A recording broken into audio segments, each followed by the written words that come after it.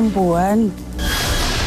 Terus dia bilang, dulu saya berpacaran dengan salah seorang laki-laki eh, berambut pirang. Dia bilang, laki-laki itu bilang kalau dia akan menikahi saya, Terus? tapi ternyata pergi. Oh, gitu. Terus Nggak jauh dari sini saya bilang. diapain meninggalnya? Kok bisa sampai nggak ada? Nggak. Sampai dia nggak bisa mengeluarkan. Enggak, dia dicekik, Mas. Mbak dia dicekik.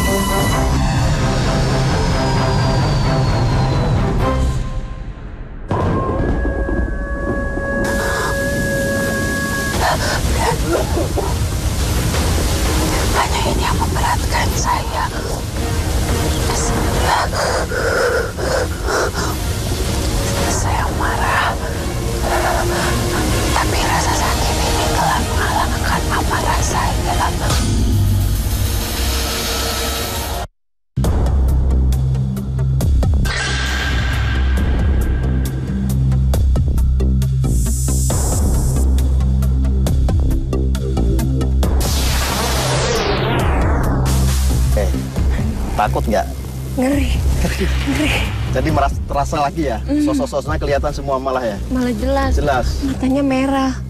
Terus? Terus dia bilang dia emang udah penunggu di sini udah lama banget, ratusan tahun. Terus dia bilang dia tahu semua kejadian ada di sini. Oh, termasuk seorang kekasih tadi juga dia ngerti ya? Iya dia tahu. Oke, saya akan Mas Tukul dan Mbak Risa dan saya akan memviralkan lukisan yang ada di sini. Oke, ayo.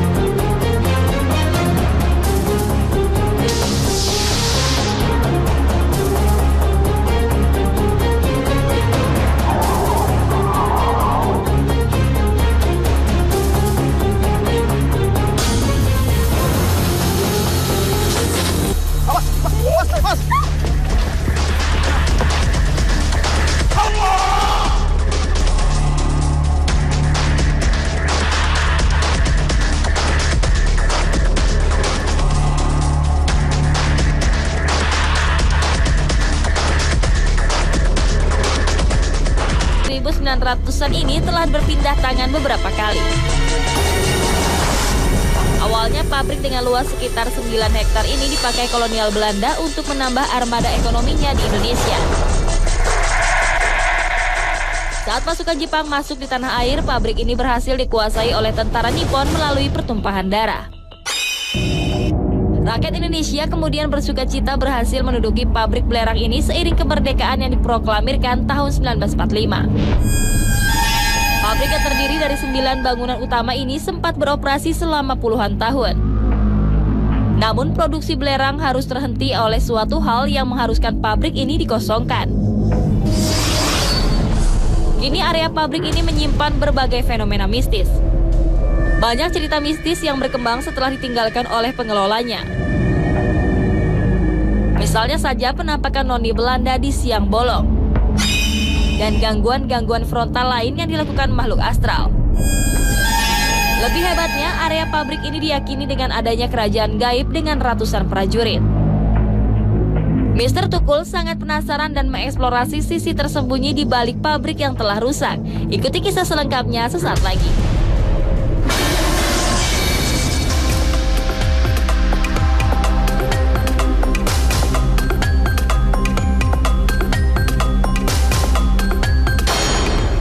Pemirsa Mr. Tukul jalan-jalan di mana pun Anda berada. Dari dunia nyata maupun dunia gaib nih ya. Saya sekarang sudah sampai di sebuah eh, bekas pabrik belerang di Wanareja, Garut. Kita tuh penasaran, eh, kabarnya banyak fenomena mistis Benar mas. yang terjadi di sini. Mungkin dari Mbak Risa dulu mungkin. Apa Mbak Risa yang Eh, mau masuk ke sini dari dari luar pagar aja bisa kelihatan, Mas. Banyak sekali. Kang Solepati nih, apa yang Kang Solepati rasakan sebelum kita masuk ke dalam nih? Ini sebelum masuk kita udah dikepung. Jadi pasukan-pasukan dia itu banyak banget. Artinya bukan pasukan pasukan perang, tapi ini sudah menjadi eh, sebuah apa seperti Markas. ah, markas atau memang pemukiman. Awas, awas, awas, awas.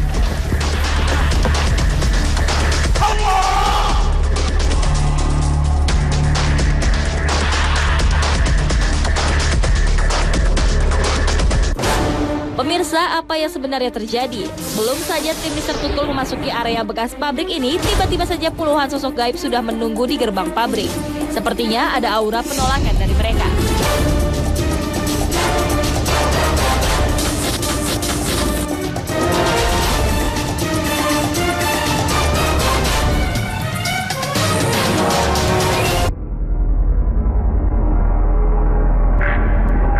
Tadi mas, Iya, iya. seperti mau merekam. Cuman saya hadangin dan saya kejar lari di situ. Ternyata itu yang kita omongin pasukan-pasukan bahasa Belanda tadi tuh banyak banget ngerubungin kita. Tapi ketika saya lari di situ ada cahaya yang bukan cahaya seperti merah jelas dan lari ke sepeda motor. Nah, pemirsa penasaran sekali. Sebetulnya residual energi tempo dulu sampai sekarang itu apa yang terjadi? Karena di sini banyak fenomena-fenomena mistis. Ikuti terus, Mister Tukul, jalan-jalan.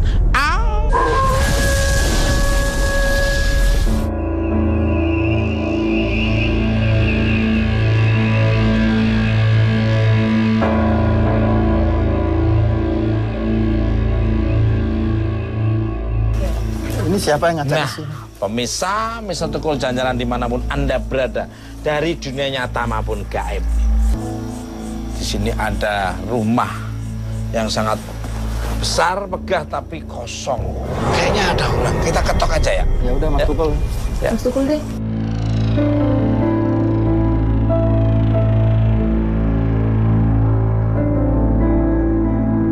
Maaf, dengan Bapak siapa? ini? dengan dua Hal-hal apa yang terjadi di sekitar pabrik bekas belerang? Pernah terjadi apa saja? Eh, ya ini Pak. Eh, dulu eh, tahun 42 eh, awalnya ini eh, Belanda. Tapi setelah ada Jepang dibangun oleh Jepang. Kemudian eh, setelah Jepang kalah dari sekutu itu ini di bumi hanguskan oleh tentara kita di sini.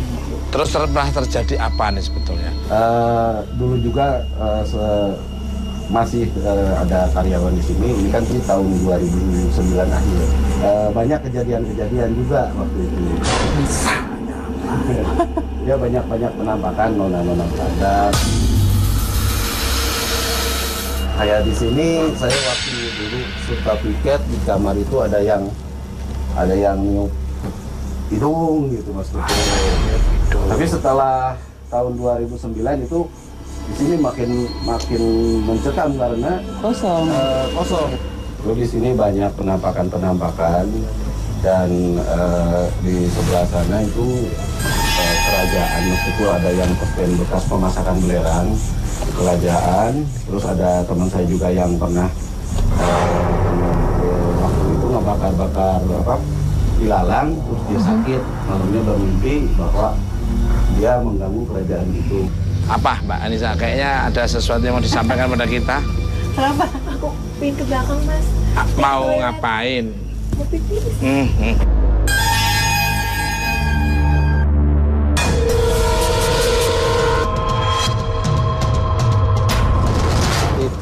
tadi yang noni-noni yang ditunjukin, Mbak. Turun lewat sini katanya. Turun lewat sini, jangan lewat sana.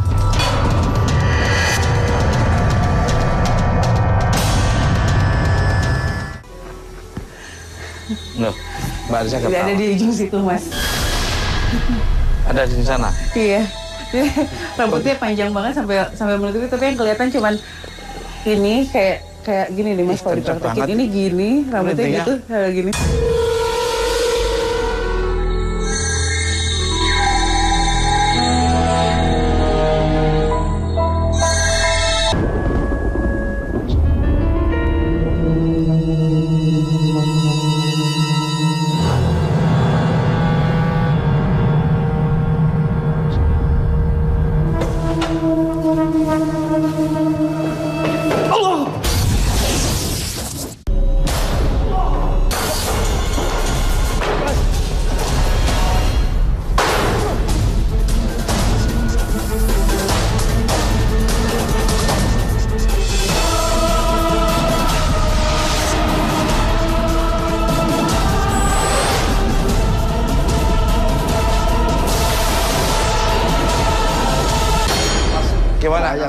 Jangan, jangan, jangan.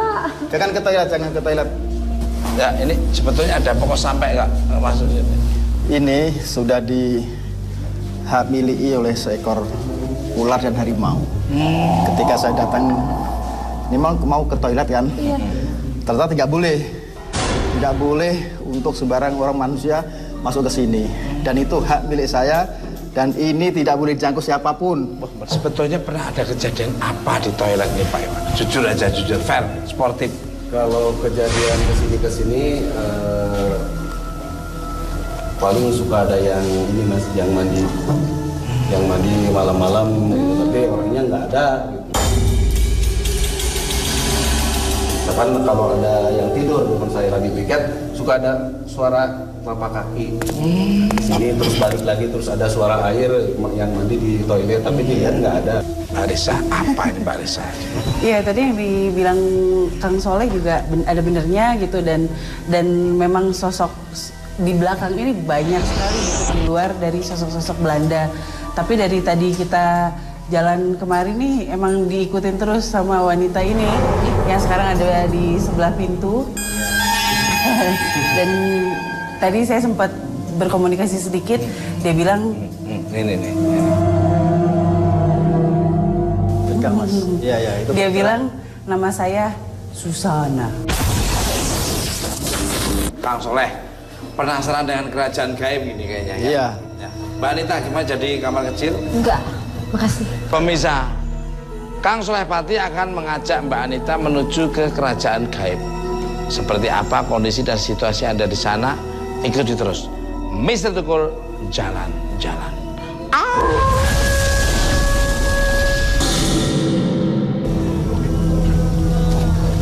Sesaat setelah tim Mr. Tukul mengakhiri syuting dan melangkahkan kaki keluar ruangan, salah satu kru ketempelan makhluk yang menyerupai sosok orang terbakar. Sesaat kemudian badan kru ini terasa panas akibat aliran energi negatif.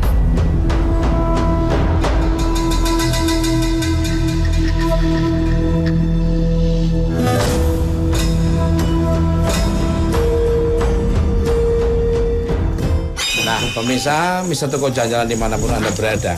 Begitu kita keluar dari rumah ini, dua kru kami, tim Mister Toko Jalan-Jalan, si Fajar itu ada yang ngikutin, terus Mas Soto juga ada yang ngikutin. Mbak Risa, apa sebenarnya yang ngikutin Mbak Risa? Ya tadi sempat nge- ngebahas juga sama tim yang lain. Eh, tadi kan Fajar ngerasanya panas banget ya. Panas. panas banget dan tadi di di di apa di diobrolin sama Pak Iwan tadi. Eh, bener nggak? Ini kelihatannya kecil tapi dia bukan anak kecil. Cuman eh, kayak kebakar itu gosong. Dan tadi ditanyain di cross check itu ternyata sempat ada karyawan yang memang badannya kecil terbakar oleh belerang.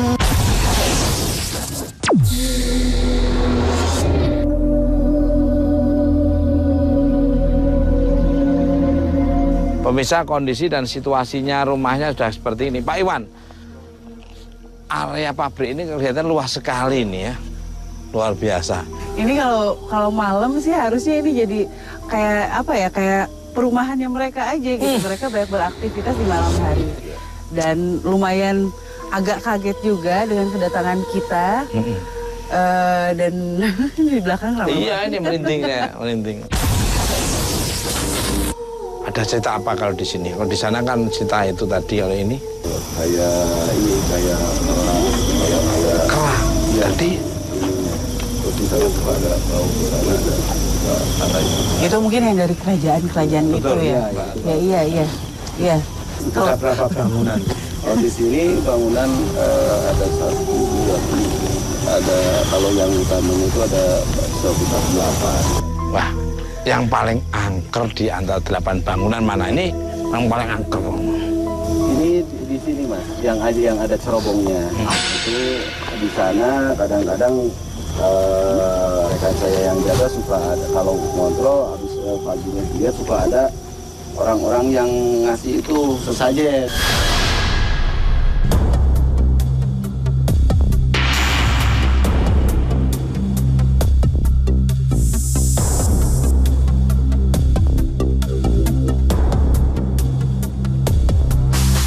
Nah, ini bangunan apa nih Kang Iwan nih? Luar biasa sekali nih Kang Iwan. ini dulu bekas kedai uap nah yang ke sininya kedai uap sudah jalan dipakai untuk perbengkelan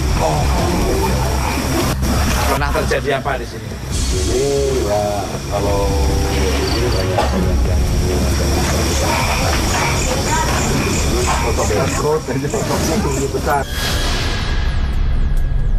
makanya saya baru mau ngomong tapi besarnya tuh banget mas sampai badannya tuh nembus ke sana. ya Saya ngeliat dari tadi ada selain sosok Belanda juga ternyata di sini ada sosok wanita lokal gitu, anak lah yang bisa dibilang gitu. Yang dari tadi suara cekikikannya cukup mengganggu di telinga gitu. Eh, Kang Iwan, boleh masuk? Boleh.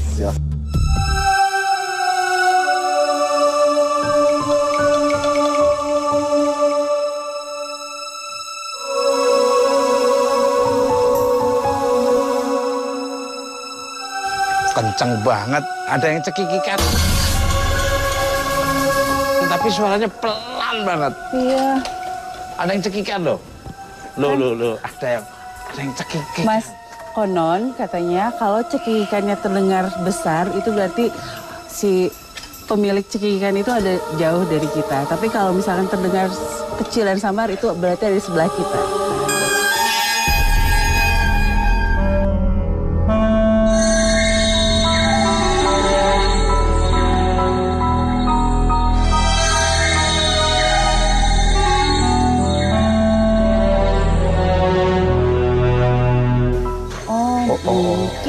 Salah satu penyebab Ini loh.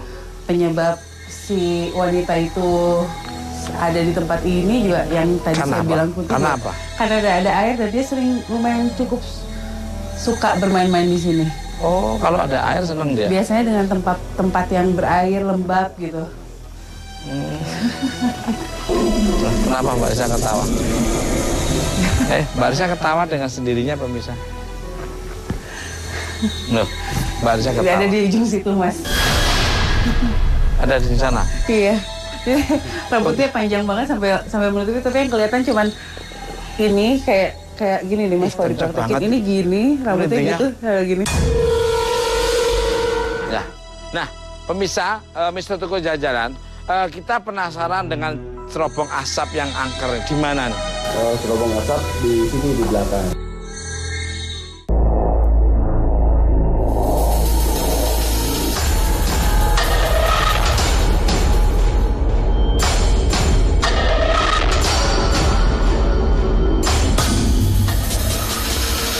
Pemirsa, ini sudah di belah depan cerobong ini ya, cerobong asap ya ini ya.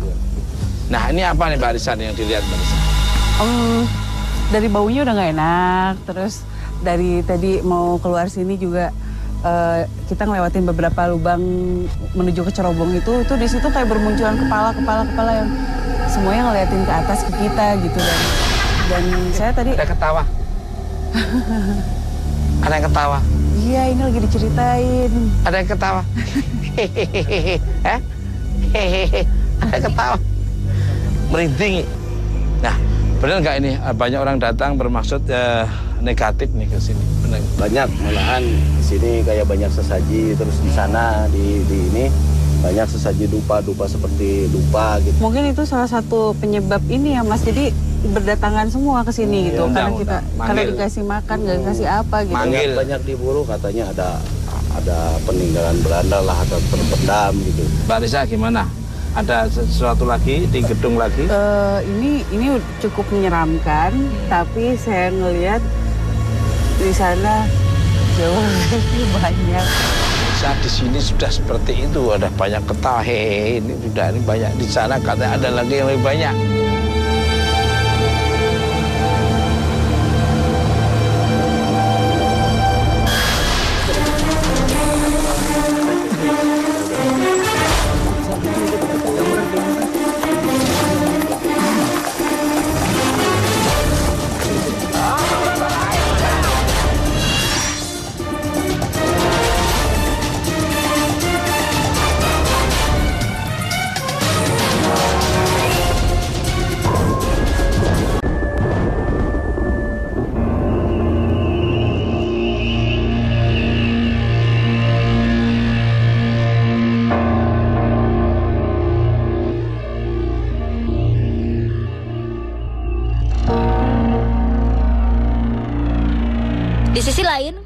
Dan Anita Hara meneruskan pencarian kerajaan gaib yang membuat mereka penasaran. Namun sepertinya perhatian mereka teralihkan oleh sebuah bangunan yang tinggal puing-puing.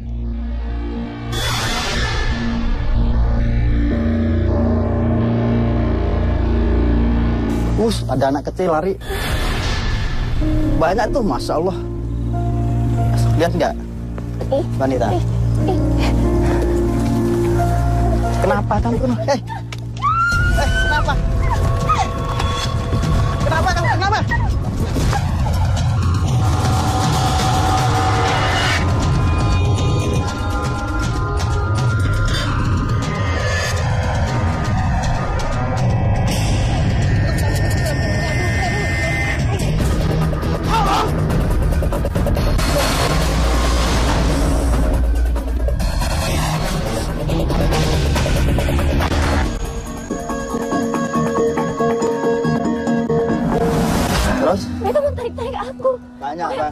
Banyak banget.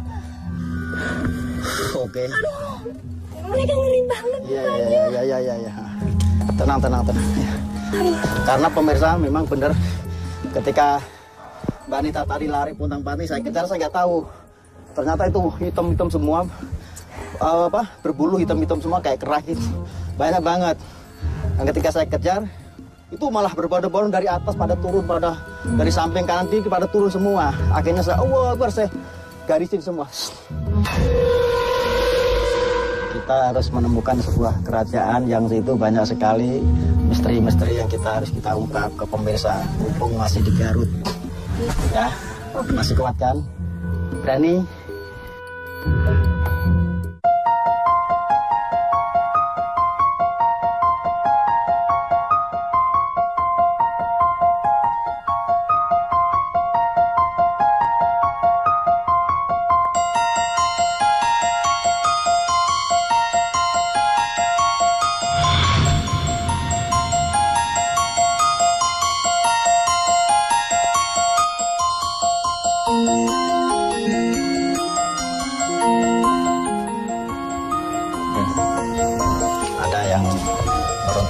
atau uh, kesakitan, merintih, menangis dan menjerit. Dua laki-laki dan satu perempuan. Tapi yang dibunuh satu. Artinya yang dua mungkin bisa jadi bekerja atau menjadi tumbal. Uh, mungkin kita sana deh. Saya penasaran di situ ayo. Astagfirullah. Sini nih nih. Bener pemirsa. Jin korinnya sering mengganggu di masyarakat sambil menampakkan diri seperti dimutilasi. Artinya bukan semua tapi paling dari tiga. Tapi anehnya tidak dibuang di mana-mana tapi jadi satu di sini. Coba kalau Mbak Anita sendiri coba bisa merasakan residual energi atau flashback masa lalu yang ketika terjadi di sini? Atau mungkin yang lain. Ya dia dia berusaha meronta-ronta, tapi memang dia dikeroyok, dia dikeroyok, dan dia nggak bisa lawan karena dia sendiri, dia sendiri, dia sendiri kang, dia sendiri, Terus? Dia kesakitan, sosoknya gimana? Tinggi apa sedang? sedang dia sedang, dia sedang kayak pekerja gitu, kayak pekerja. Ini persaingan kerja memang. Kita telusuri lagi eh, ke sebelah kiri kita.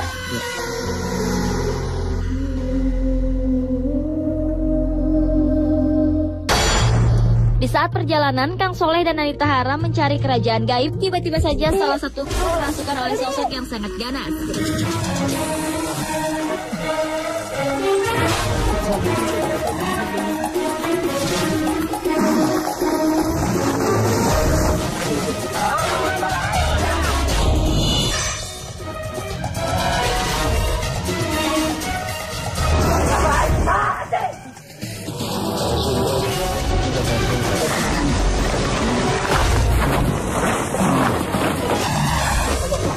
Sosok yang konon menyerupai makhluk tinggi besar itu merasa terganggu dengan kedatangan tim Mr. Tukul.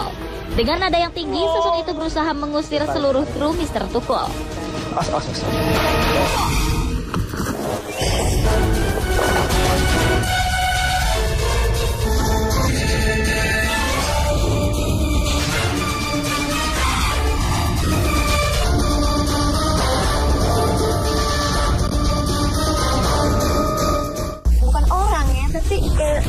Siluman yang kepalanya ular.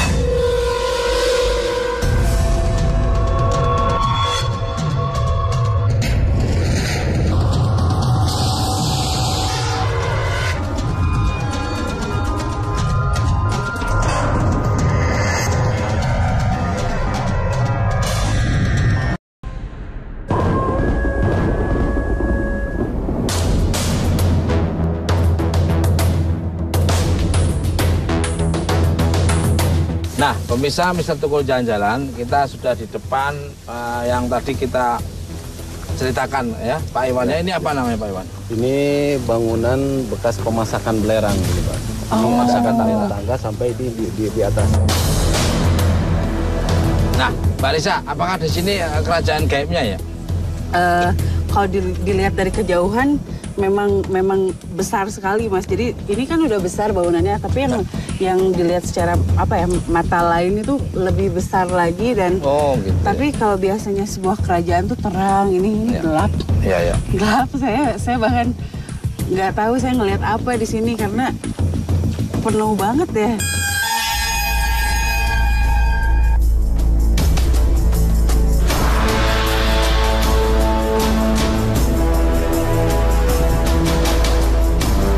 Mbak Anita melihat apa jujur aja? Di sini, ini banyak banget penjaganya. Prajurit Ya. dan kayaknya bukan orang ya, tapi kayak Siluman. siluman yang kepalanya ular. Boleh masuk lagi, Pak? Boleh, boleh. Masuk semua. Oke, pemirsa, ikuti terus Mister Tukul Jalan. Jalan.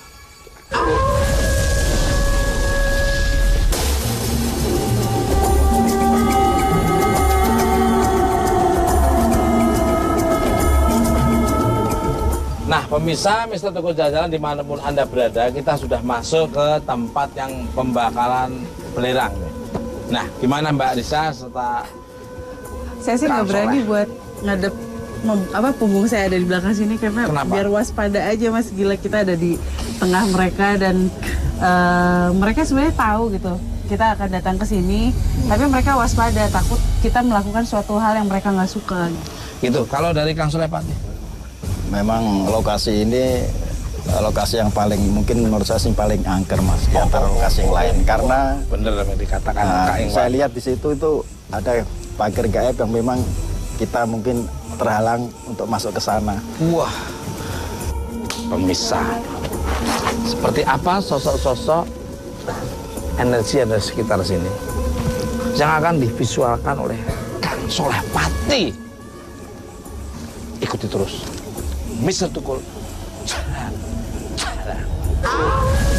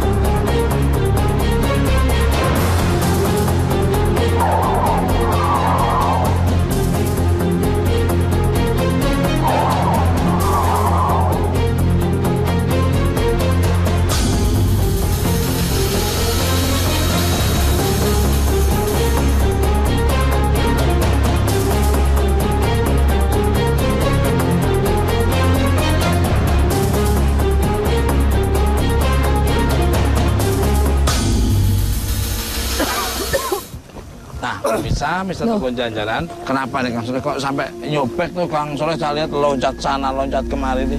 Apa ini? Ini eh, ro- sosok raja siluman ular yang mungkin dilihat Mbak Anita. Dan ketika saya melukis selesai, belum selesai artinya kita ngelukis backgroundnya untuk Gambar istana ya istananya kerajaannya itu ya. itu pun cuman siluet saya nggak jelas karena terbayang oleh kicap-kicap yang mereka tanam membawa senjata obor gitu mas seperti ah, kekuatannya di pilirang dari jadi kalau ini padam semua akan padam Mbak Anita, apa yang dilihat Mbak Anita itu sosok itu? Ini persis banget yang aku lihat. Ini memang bentuk gambarnya seperti ini kerajaannya. Emang ini tadi yang aku lihat tuh terlihatnya seperti ini. Jelas kan? ya ketika ini jelas kita sekali. nunjuk tadi ya Iya. Kalau Mbak Risa sendiri Em, bisa menjabarkan. Iya, iya Mas. Eh, saya sih cuma bisa menanggapi kenapa sampai nggak tuntas itu ngegambarnya. Mungkin karena eh, bukan mungkin lagi, tapi mereka sepertinya kurang berkenan gitu untuk divisualkan gitu ke dalam kanvas. Dan eh, kalau dibilang galak, cukup galak. Gitu dan ini adalah daerah kekuasaannya mereka. Oke, kalau gitu Pak Iwan, saya terima kasih sekali atas waktunya dan maaf kalau ada kata-kata tutur bahasa atau perilaku dari tim Mister Tukun Jajaran ada yang kurang, ya mohon maaf. Nah, pemirsa Mister Tukul jalan-jalan di mana pun Anda berada dari dunia nyata maupun dunia gaib. Ambil sisi positif tontonan Mister Tukul yang negatif jangan diambil. Dan mudah-mudahan di daerah sini nyaman, aman, terkendali, saling menghormati satu sama lain. Ya, kita menghormati yang ada yang kelihatan maupun yang nggak kelihatan.